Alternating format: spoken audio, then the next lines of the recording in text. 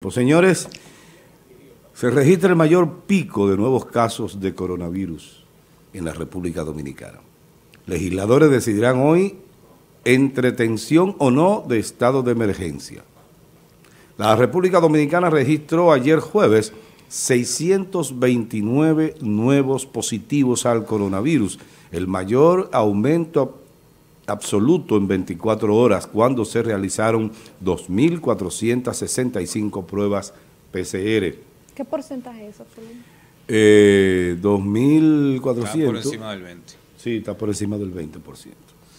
Con los nuevos casos ascienden a 21.437 las personas infectadas a nivel nacional, según el boletín número 84 emitido este 11 de junio por el Ministerio de Salud Pública que cifra en 561 las personas fallecidas. Luego de ayer se registraron 11 nuevas defunciones. El número de casos activos asciende a 8.335, mientras que 12.541 personas han recibido el alta médica tras superar el COVID-19. Será hoy cuando diputados sesionen para determinar si se extenderá o no el estado de emergencia en el país, como lo ha solicitado el presidente Danilo Medina. Recordamos que los legisladores de la oposición han mantenido un rechazo total a la extensión. Vamos a ver qué piensas, Carolina. Bien, es importante eh, saber qué porcentaje representa de dos mil y tantas de pruebas que hayan resultado 624 los casos positivos. Ante todo esto nosotros debemos de destacar, y que es lo que se ha estado pidiendo desde un principio, la cantidad de pruebas que aumente en el país. A la fecha del principio de mayo, eh, no hubo un solo día que superara las mil pruebas. Ahí están las informaciones, eh, la cantidad de pruebas realizadas. Hay que estar claro en algo. El promedio es 981. Perfecto. Entonces, eh, hay que estar claro en algo. Mientras más pruebas se realicen, más cantidad de personas infectadas habrán. Entonces, eh, no es un asunto de nosotros espantarnos, claro está, de, eh, de crear temor en la población, pero sí teniendo en cuenta y toda la claridad de que hay que tener el comportamiento adecuado, de seguir con los protocolos, entre comillas, si se quiere, porque ciertamente es muy poco lo que se está cumpliendo. Y como decía en el día de ayer, los principales que están... Eh, faltando al, al distanciamiento físico son los partidos políticos, señores, aún con sus mascarillas. Nosotros, el mensaje que se nos da desde el Ministerio de Salud y desde el gobierno que está pidiendo un estado de emergencia es que haya distanciamiento físico y es todo lo contrario a lo que ellos hacen. Entonces, estas incongruencias nosotros no las entendemos. A propósito también de la apertura de vuelos a principio de julio, hoy estamos a 12. Estamos hablando de 18 20 días. Si ya se va a aperturar los hoteles, la entrada de turistas dominicanos que están fuera, que tienen sus vuelos pendientes, quiere decir que las cosas van muy bien o están muy bien. Se supone que esto se analiza eh, eh, ya cuando se establece una fecha de entrada de extranjeros que posiblemente cause eh, una situación con el COVID en nuestro, en nuestro país. Pero partiendo de, de, esta, de estos elementos que he planteado, aparentemente estamos muy bien. Y entonces ahí vendría la pregunta del tan esperado día de hoy, de la aprobación o no de un estado de emergencia. Si nosotros planteamos punto por punto todo lo que está pasando en la República Dominicana y lo que se está haciendo y la apertura de la economía de manera generalizada, nosotros nos preguntaríamos entonces, ¿para qué? Eh, el estado de emergencia y todo lo demás, porque prácticamente aquí se está normal. Bien, Fulvio. Bueno, aquí se está jugando a muchas cosas, entre ellos aprovechar la situación. Miren, la mascarilla quirúrgica, las azules, tienen una protección cercana al 70%. La mascarilla de tela apenas un 50% y deben de ponerse tres capas de telas. La mascarilla KN95 cercano al 90%. Hay dos cosas que han dado resultado en donde se han aplicado de una manera rigurosa y es el uso de mascarilla y el distanciamiento. Estas dos cosas lo han eh, testificado estudios científicos que se han hecho. Se tomó como parámetro a dos estilistas que atendieron a 46 personas, a 146 personas, con mascarillas, con distanciamiento, con citas previas, y no eh, las dos los dos estilistas estaban contagiados con el COVID. El experimento en eso consistía. Se le hizo prueba a todos los que participaron en este estudio y todos salieron negativos, lo que implica que llevando de manera rigurosa el distanciamiento y el uso de mascarillas apropiadamente, se puede pues eh, tener cierta seguridad de no contagio. La vida va a continuar, continúa y tenemos que irnos adaptando hasta que aparezca la famosa vacuna para inmunizar a toda la población. Mientras tanto, el virus va a seguir circulando, se va a seguir eh, propagando, especialmente en países como lo nuestro.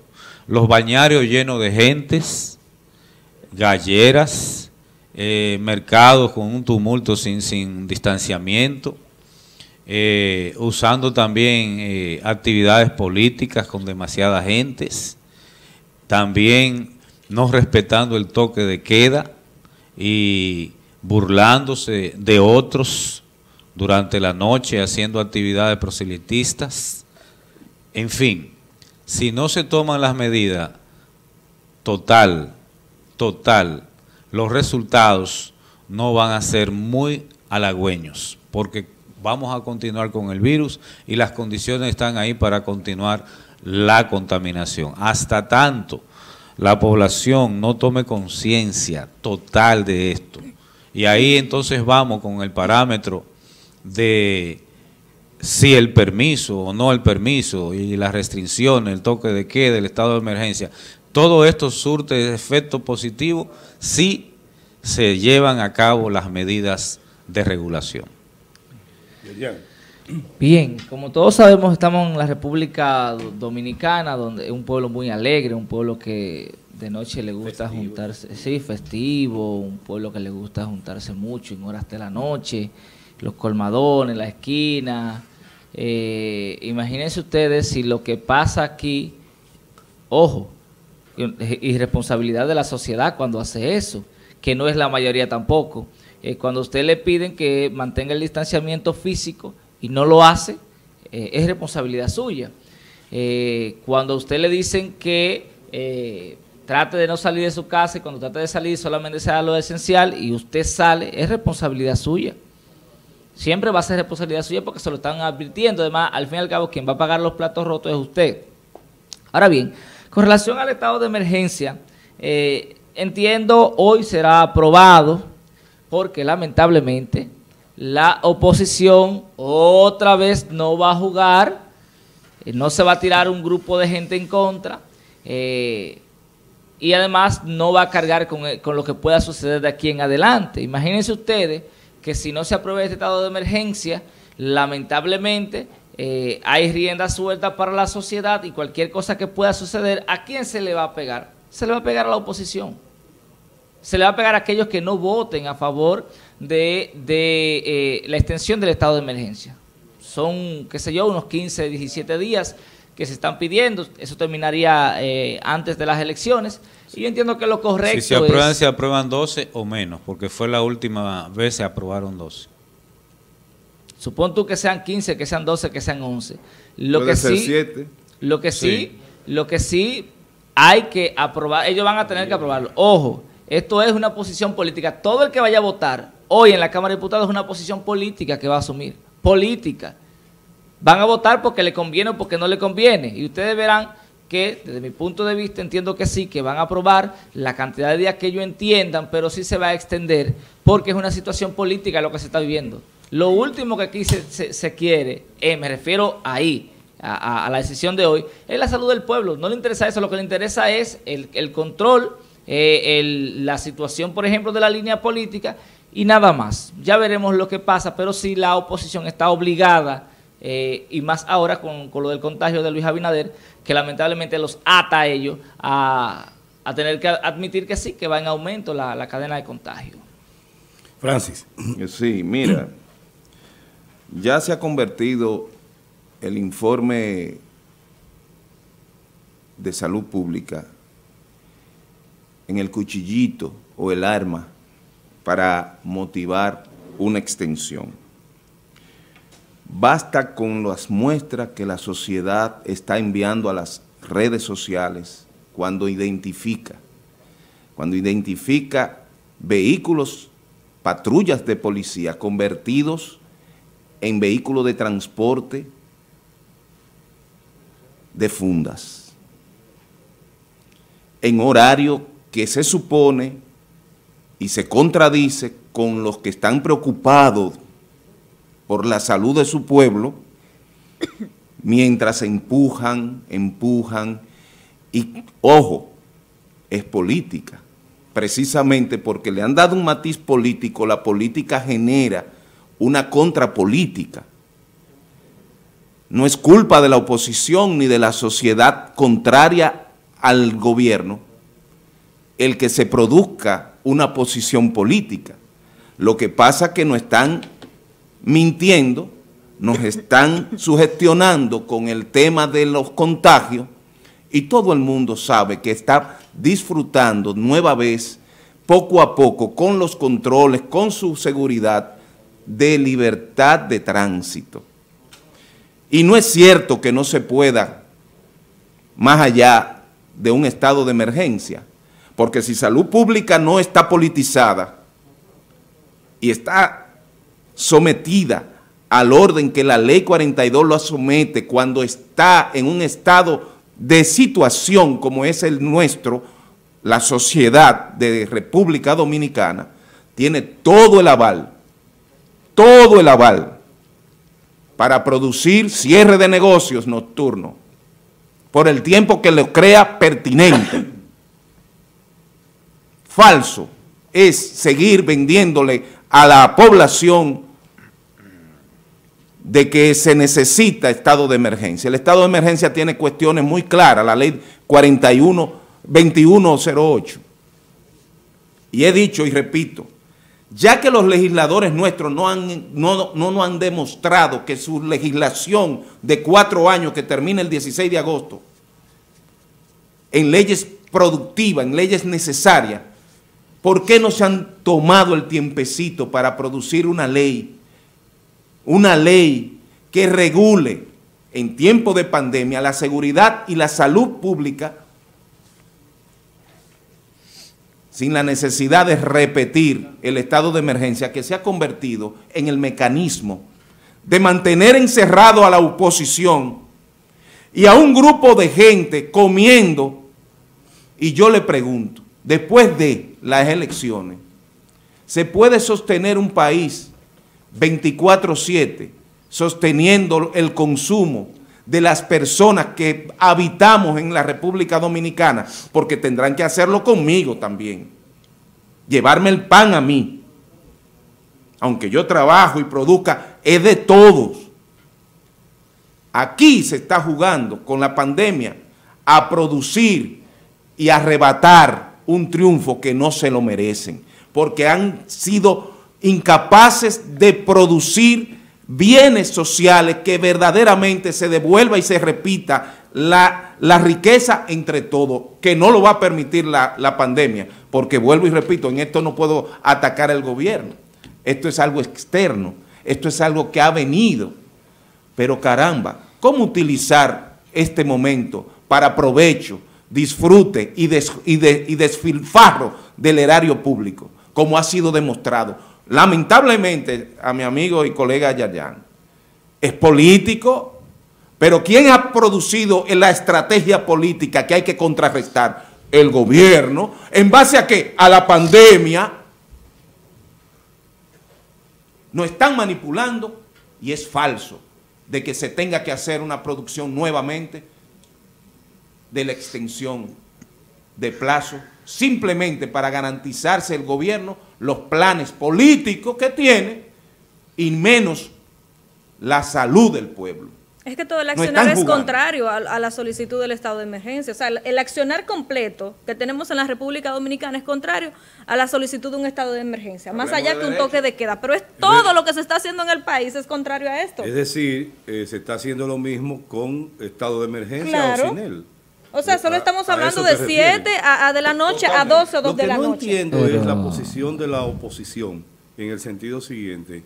Si si lo que se busca es lograr un nivel de abstención suficiente, ¿a quién beneficia la abstención? Al Estado. Yo pienso que, que beneficia o perjudica a todos por igual, porque... porque La abstención en el voto. perjudicada, Amado, En el la- voto. es la democracia. Eso- eso- entonces Y tú que lo que nosotros estás Amado acaba de, a- tú Amado acaba de dar en la diana, el palo por los Tú 400. lo que me estás diciendo a mí es, tú lo que me estás El diciendo a mí es, gobierno le interesa que vayan menos gente a votar porque ellos sí tienen claro que El tienen PLD, No, como maquinaria ¿Te electoral. contradice en tu discurso? No. Porque si le interesara, le diera rienda suelta a la gente No. y comenzara a, a- a- publicar es que no, es que lo va a publicar.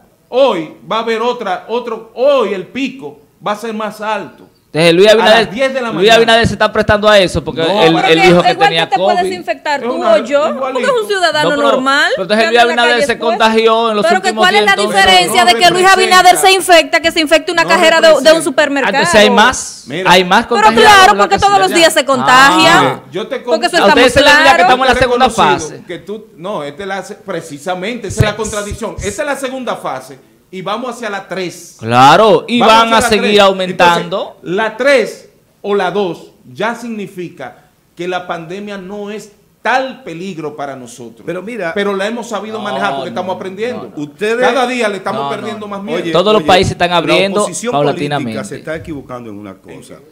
Y es que está mandando un mensaje con esa posición de que la maquinaria política electoral del PLD es tan formidable que los únicos que van a ir a votar son los PLDistas. Y que por eso es que ese miedo se está elevando. se Puede está- ser una- una- un golpe de efecto que pueda producir en Entonces, personas tú, que, tú me mira, vas a decir a mí que nada más eh, los PLDistas son los más guapos, que van ahí, no importa lo que... Pero tienen mayor digan. nivel de Amado, es que aquí, es que Tú aquí, pa- dando una con- es que Oye, pasan dos tú cosas sabes, aquí. Tú conoces, y Yayan conoce lo que es el manejo del padrón del PLD. Sí, los El que no padroncillos. se mueva con un salario es para afuera que va, aunque le queden tres días. Aquí hay mucha gente. No, pero espérate, Francis. Es que, si, es, que si tú, es que si tú tienes, por ejemplo. Con miedo. Si tú tienes un puesto. Oye, no nos llamemos engaño, dejémonos de hipocresía. Si tú tienes un puesto que tú lo conseguiste por coyuntura política, Ah. evidentemente que si ese partido te está Ah. pidiendo que vaya a votar, lo, lo lógico Es que lógico. tú vayas a Esto votar te por quiere decir que el. PLD tiene mayor garantía de votos que la Pero claro que oposición. sí, Eso es lo que le los- está planteando. de Pero eso es lo que él plantea. ¿Ves Pero que, no, claro es que contradic- sí. no es contradictorio? Es un plan, porque yo siempre he dicho que el PLD tiene la legión, es decir, la cantidad de votantes asalariados Claro. para ganar. Mira, lo Llevan la de único- ganar. Siempre va a ser así. Va a ser así. Todo el que esté en el poder Oye, Pero va a la, así. a la Aquí se- oposición le conviene el estado de emergencia Lo porque único- eso provoca que se mantenga ¿verdad? Eh, eh, eh, ese muro de contención en la sociedad. Pero y no, pueden entonces lo no va a único- ser así lo para los único- que están obligados por salario a ir a votar. Lo único que nosotros pedimos es Cuando habla de igualdad. Nosotros habla de PRM. Claro, el PRM. PRM, PRM. No, no, el PRM, el, P- el Sí, PRM, ante la sociedad dominicana, lo único que pide es igualdad. No Sí, hay igualdad. Espérese, espérese, déjeme explicarle. Nunca la va a ver. Si vamos a, una, a un ring a medirnos en unas condiciones electorales, nosotros pedimos árbitros, pedimos igualdad de reglas. Castaño te lo El caso, el caso de la emergencia, para ellos andar de noche, como yo lo verifiqué anoche, porque yo salí a eso y lo verifiqué, ¿Lo grabaste? Y, y andan en eso. Entonces, eso es, eso es apostar, apostar a la deshonestidad. Eso es apostar a la tramuñería. Son descarados, a- eso, eh, descarados. son descarados. A eso, es Eso que no están es correcto, pero. ¿qué- Entonces, qué población- si ellos salen de noche y la policía no lo agarra, que lo único que hace es que le ayuda, entonces también tienen que dejar que los partidos opositores hagan lo mismo. Ah, y si hacemos todo lo mismo, violamos la ley. Miren, miren. Es un desorden total. miren lo que Ellos son de unos decir. violadores de la ley, porque la ley prohíbe eso. Miren. Y están violando la ley y se le está permitiendo. Yo la no- misma Junta se le está permitiendo. Yo También. no, yo no estoy de acuerdo con que salgan ¿verdad? los PLDistas Claro, eh, a la calle, no estoy de acuerdo. Pero que en el caso hipotético de Fíjense ustedes cómo el discurso solamente se centra en que los PLDistas están saliendo. Pero ¿qué porcentaje Es que de la estamos en un evento electoral, hermano. Está bien, pero escúchame. Y si hay campaña política, debe ser igual para Pero yo estoy de acuerdo contigo. Ahora Ah. bien, ahora bien, lo que tenemos que pensar es en qué porcentaje de la población representa, en caso de, estoy diciendo que está mal, pero si tú lo comparas con relación a la totalidad de la sociedad, ¿verdad? De la población, ¿qué porcentaje de esa totalidad que saldría a la Ah, calle representan No, no va- ese no grupo se va- del PLD? No, no va a haber ganador en la primera vuelta. sea, es el eh, porcentaje. eh, No, no, eso- me refiero a que a, a No. cuánta gente está saliendo a la Eh, calle eso de no se mide así. Puede Ah, ser un 1% y están violando la ley. No, está Estoy mal. de acuerdo Estamos contigo, pero de entonces tú debes pensar Eso es lo en, que el estamos otro, tratando aquí. en el otro 99% que pudiera entonces afectarse de- del virus. Lo lamentable es que se da como favor lo que se debe de recibir como un derecho. Terrible. Eso es lo que me, me afecta a mí, que la gente Mira, siga apostando. algún Ay, que día- está haciendo cosas buenas porque le dio dos, pesos. Eso lo implementó Oye, Balaguer y lo, y lo Pero no siguió quiere decir que está Algún día- bien, no quiere decir que está bien. rompiendo. Y hay momentos en que la, la... ¿Cuánto dijo que Danilo, cada discurso que ha dicho que ha sacado de la pobreza? Sacan Un millón, millones no, todos No, los no, años. millones. Más 18 millones. Va a presentar la foto en- de la en caja, le da dos discursos, cajas con su 18 cara. millones. No, no, no, un millón. Porque eso... Yo no 18 estoy en exagerado, contra, mira. Es que no siempre estoy- sacan un mira, millón. Vamos a... Escúchame, no es el estoy- mismo millón, señor. Pero No por estoy Dios, en contra de la asistencia social, Ah. porque las desigualdades existen. Estoy en favor de que rompamos los esquemas que para la fiesta democrática que debe representar unas elecciones, estemos en igualdad. Que haya un árbitro que verdaderamente Pero- aplique la norma y se, y se haga cumplir. Son las Pero de 7:40 esta manera, minutos. Ciertamente, como dijo Amado, muy, muy, muy seguro y tú lo secundaste, no hay igualdad. No, no, pero- Mira,